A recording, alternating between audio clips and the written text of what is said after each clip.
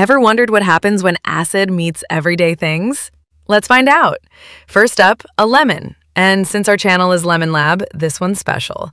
But looks like nothing much is happening to it. Next, brinjal. Hmm, the skin is turning a bit reddish. Now an egg. Whoa, instant reaction. The shell is fizzing and completely reacting with the acid. Dropping in an onion, barely reacting at all. But these rusty nails, watch carefully. The acid starts eating away the rust. Here come the prawns. The proteins react and change color. That's wild. A carrot. Just chilling in the acid. After about half an hour, let's check back. Look at the lemon now. It's turned a little blackish. The brinjal? Only the skin color changed. The egg.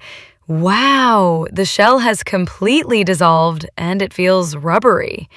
The onion has totally changed color. The rusty nails, unbelievable. They look almost like new. The prawns, shrunken and bloated. And the carrot, it also turned black, just like the lemon.